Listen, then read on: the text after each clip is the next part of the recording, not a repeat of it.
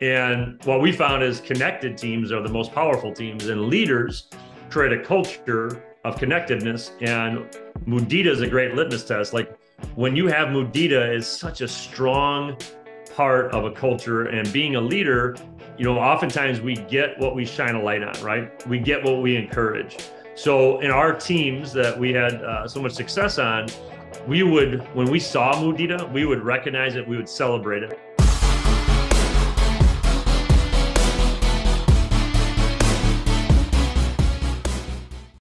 Welcome to the Elevate Podcast. I'm your host and coach, Tyler Johnson. Thank you for tuning in. And whether you've tuned in to elevate your mindset, your game, or just your day, you're in the right place. My guest this episode is a record setting high school football coach, winning five state championships with an impressive record of 129 and 9. He is the co author of The Twin Thieves How Great Leaders Build Great Teams. As a speaker and coach, he has worked with the Green Bay Packers, a variety of Power 5 NCAA teams. He is partners in Jadin Jones with Lucas Jadin, who appeared in episode 27 of the podcast. Welcome to the Elevate Podcast, Steve Jones.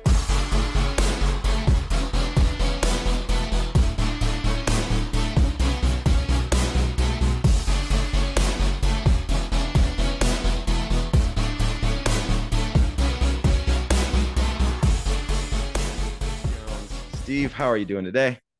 I'm great, man. Excited to be here. Thanks for having me.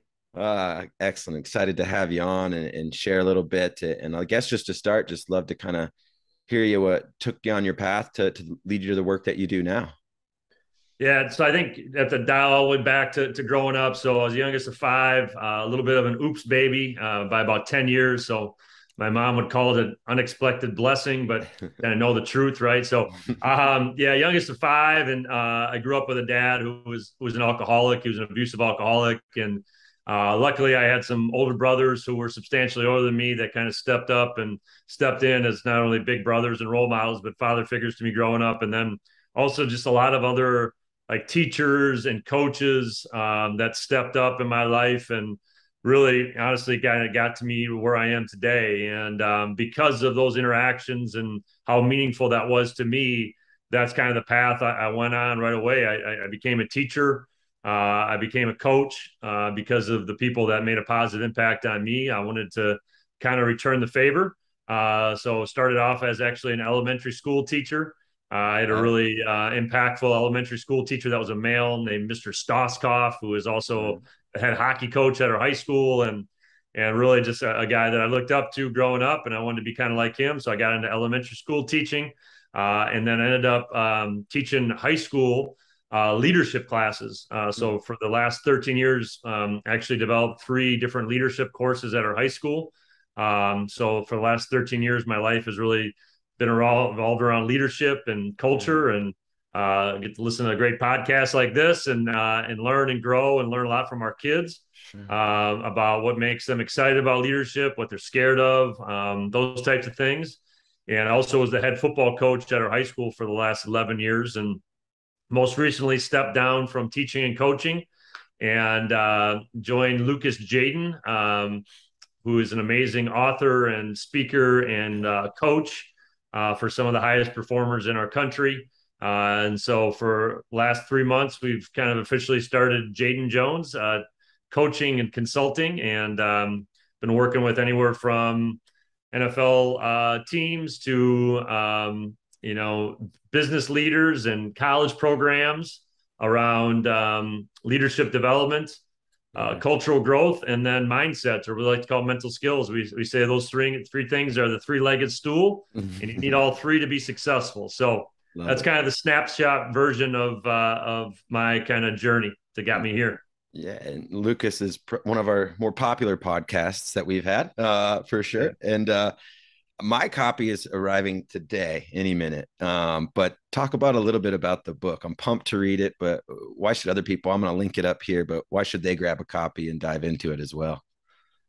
Yeah, you know, uh, Lucas and I, you know, uh, wrote this, I guess, a fable uh, about uh, how great leaders build great teams and how uh, great leaders uh, help other people rise above the twin thieves. So that's the name of the book, The Twin Thieves. And the twin thieves are the fear of failure and the fear of judgment. We call them twins because sometimes they get mixed up. A lot of people say they're scared of failure, but the more questions you ask and you get to the root of things, it's not even failing itself, it's the judgment that comes after the failure. So, twins kind of get mixed up sometimes. And I think those two, the fear of failure, fear of judgment, get mixed up. And we call them thieves because the fear of failure and the fear of judgment uh, can oftentimes rob us uh, as human beings of a lot of different things. So let me let me throw it back to you, Tyler. What what could the fear of failure and the fear of judgment potentially rob people of, or maybe have robbed you of in your journey? I think you focus on that, you miss other opportunities. Uh, you miss maybe the quality feedback that others are maybe trying to give because something's putting a barrier in between you know you're receiving that. Um are, are just a couple things that pop to mind. Yeah absolutely. And you know there's a lot of things right? So you kind of hit on it like you know taking advantage of opportunities uh, getting feedback taking risks um, growth i think joy in the process relationships like i could go on and on. I I think they're the biggest thieves in America right now in our society. So uh, I think the interesting thing is they never go away. Uh, as I mentioned, whether it's Major League Baseball or NFL or Division One colleges or uh, really successful CEOs, I think everybody still has the twin thieves in their life. We always look at it as kind of a, a journey in your car, so to speak. Your life's a journey, and some people take the twin thieves and they put them in the driver's seat and they allow them to to dictate where they go. So every decision they make, it's well, am I going to fail? So I'm going to make this decision, or what are people going to think? So I'm going to make this decision. And some people kind of give them a little bit of control, so they put them in the passenger seat and kind of give them control of the radio, so to speak. But uh, I think the really successful people, even though the twin thieves don't go away in their life, they learn how to rise above them, and they they take twin thieves and throw them in the trunk and say, "Yeah, you can be on our journey."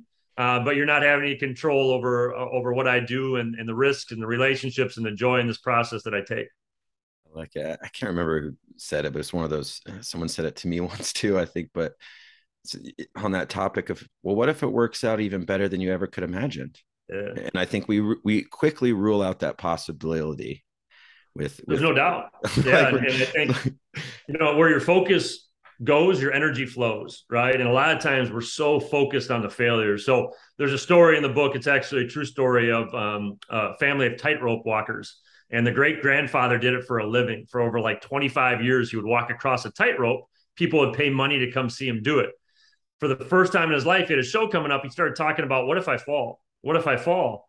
There's no nets to catch me underneath what if I fall? Now the dude's been doing it for over 25 years. It just dawned on him there's no net, right? So guess what happened, Tyler, in that show? He didn't stay on the rope. yeah, he fell, unfortunately, to his death.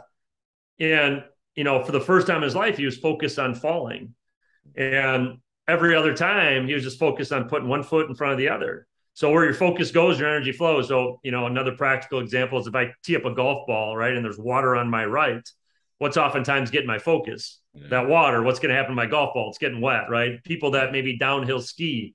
Um, if you focus on the tree in front of you, you're going to run into it, right? So going back to your point is a lot of people get focused on the what ifs. What if I fall? What if I fail? What if this doesn't work out? But the other way to look at it is focus on success. What if it works out better than you ever imagined? One thing I wanted to ask you too, uh, you spend a lot of time with student athletes and, and young people and your experience coaching. And um, when you're working with them developing leadership, I think our society gets a lot of snap judgments of young people. But what are some of the amazing things that you see in some of our young leaders today?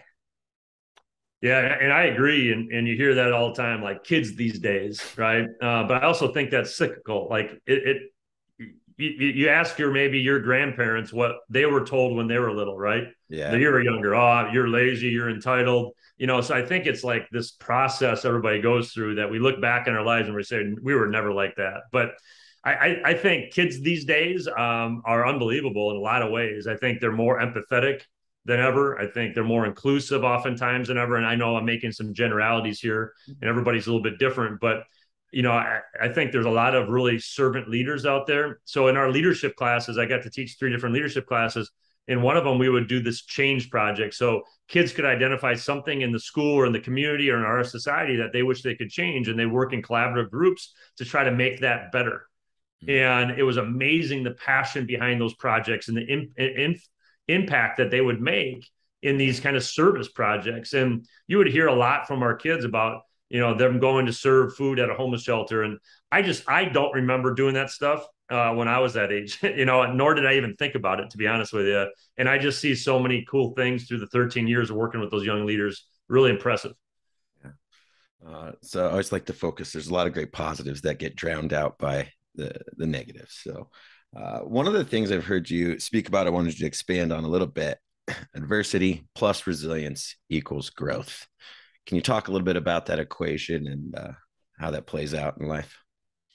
Yeah, you know, I, I, just think that, you know, ultimately, you know, I know Lucas maybe talked about it in, in his podcast, but we're forged in fire as human beings. So if you look at how, you know, swords used to be made, they would take those blocks of steel, hardest metal on earth, right? And put it in a molten hot fire and they take it out and they pound it and they pound it and they pound it until it cools and they put it back in the fire and they continue that process until they get this beautiful sword, right? This beautiful, strong, flexible sword. And we're the same way as human beings. Like we have to be forged in fire to become who we're meant to be. So when we, you know, experience that adversity, it's an unbelievable opportunity for us to grow if we look through the right lens, the right perspective, right? Perspective drives performance and how you do things is, you know, how you view things oftentimes. So if you view the adversity the right way, it can unlock you it can buy you a ticket to something that you never thought was possible. And I think again, it's all about how we approach that, how we respond to that adversity. And if we respond the right way and we look at it through, uh, I guess, a fresh lens, it gives us an opportunity to grow into something that maybe we didn't think was even possible. I don't know about you guys, you, but or, or the listeners, if you look back in your life, oftentimes we experience the most growth when we were the most uncomfortable or we faced the most adversity. Yeah. And um, you know, again, it goes back to the twin thieves. A lot of times people want to avoid those things. They want to stay in their bubble, right, Tyler? And and in turn, they never grow. So if you look at it like you know, you go into the weight room, Tyler, um, or you go into the local fitness gym, right? And you go over to the dumbbell rack and you pick up like two and a half pound dumbbells, right? You start doing curls, you're going to look really cool, right? And you're never going to fail. You're never going to make those weird faces you look when you struggle and look like an idiot, but your biceps will never grow.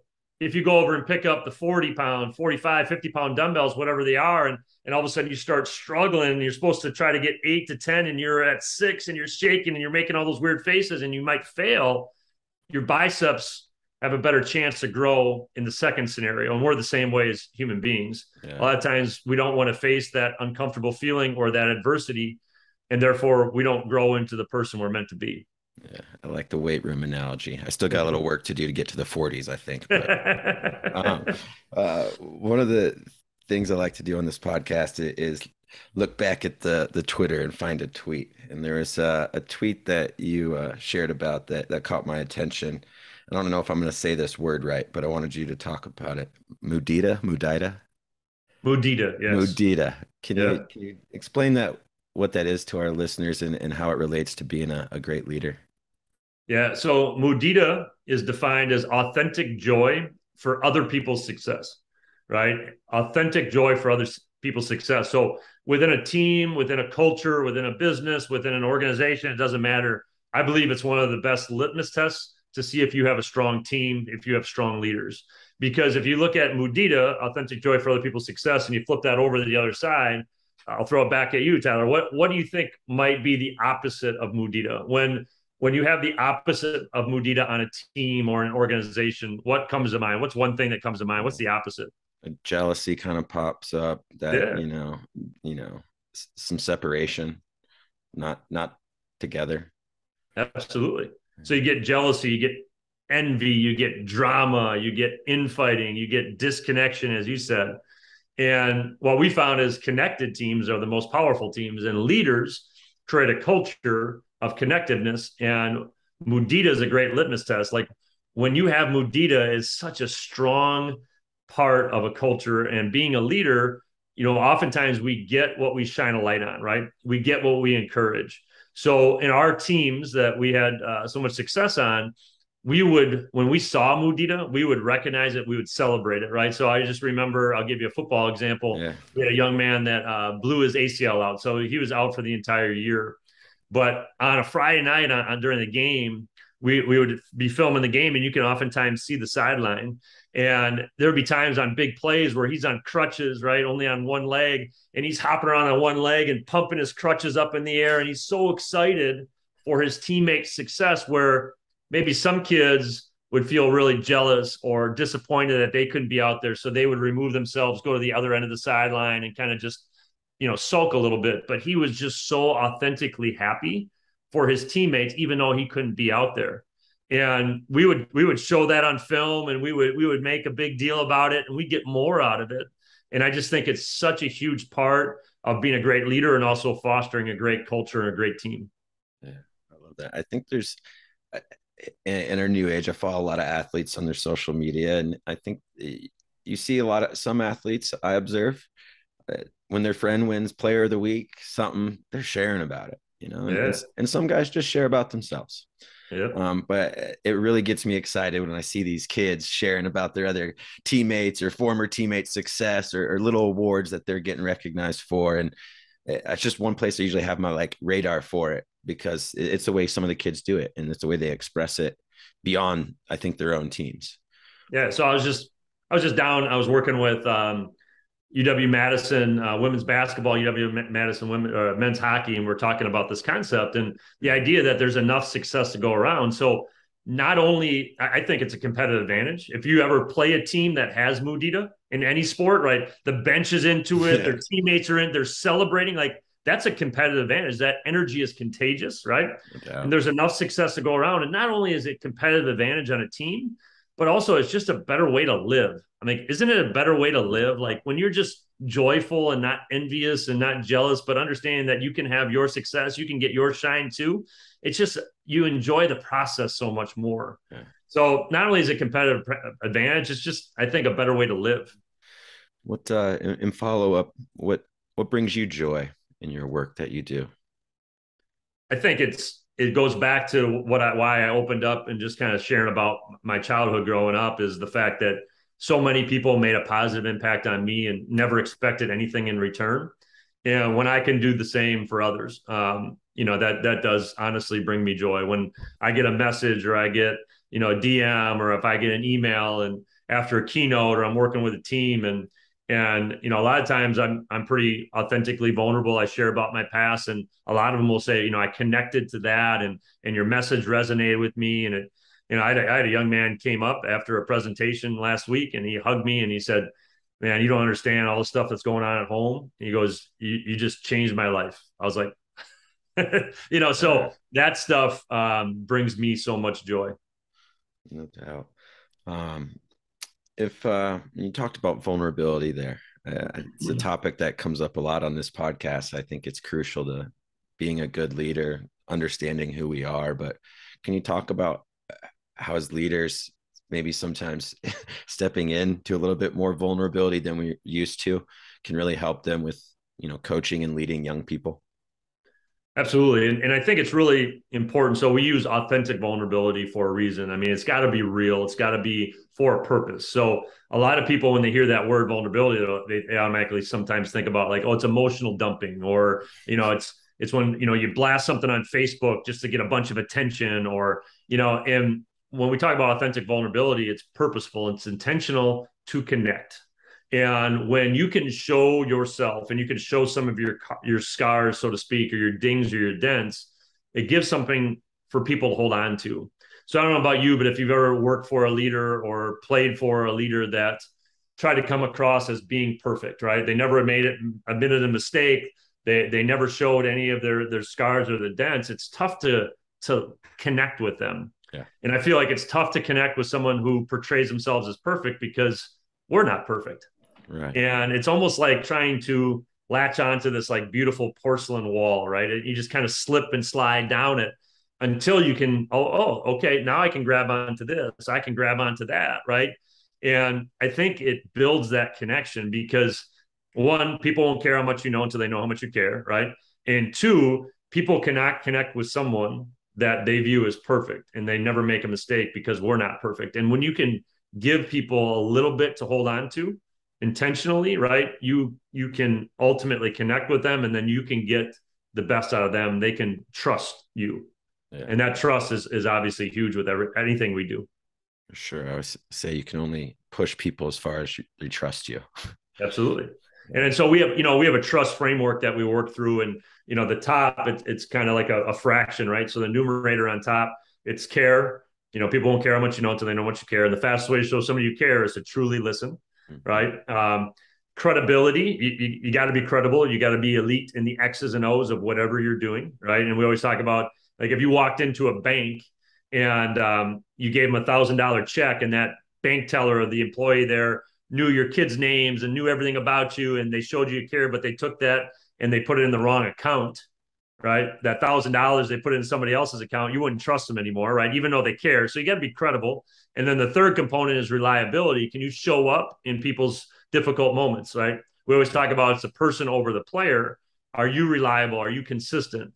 If you do all those three things on top, the denominator on the bottom, the most important part is the authentic vulnerability, and that's being real. And if if yeah, sometimes if you've ever worked for a leader that maybe they they they act like they care just to get a result out of you, and then all of a sudden they're done with that, they don't care anymore, right? Yeah. Or they're reliable when they feel like it. But when you're real and you're authentic and you're a human being, and you see that, all the other things, the care, the credibility, reliability, becomes magnified.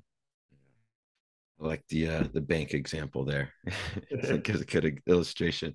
Uh, if I gave you a magic wand, and tomorrow all the young student athletes out there woke up empowered with a, a leadership skill or, or tactic, what would you want the people to wake up with tomorrow? That's a great question. A lot of things pop into my head, right? Um, you know, effective communication pops in my head. I think you know the idea like i said of listening i think there's lots of classes out there obviously around math and social studies and even speaking. But we don't teach listening enough um, and uh, you know so communication pops in but if it's got to just be one i would say courage mm-hmm. and the courage to be their authentic selves the the courage to uh, rise above the twin thieves because I, I always talk about like you can have all the leadership skills you want but if you don't have the courage to step into the arena, if you don't have the courage to use those skills, those skills don't matter. It's like the person that ha- has all the skills to play the piano, but they never have the courage to play it in front of everybody. Well, if you don't have the courage to step out and play, right, and play that piano, even though you have all the skills, eh, you know, you'll never be the best pianist, the best piano player in the, you know, that you can possibly be. It's the same thing with leader. I think ultimately starts with yourself and having the courage to be you and courage to rise above the fear of failure and the fear of judgment so you can step into the arena.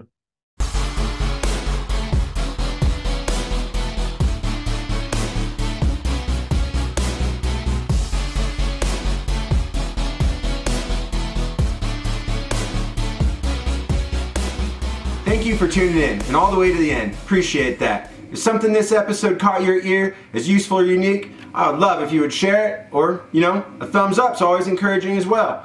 If you want to come back and check out more videos, smash that subscribe button, ring that bell for notifications, and we'd love to have you back. Have a great day and go elevate others.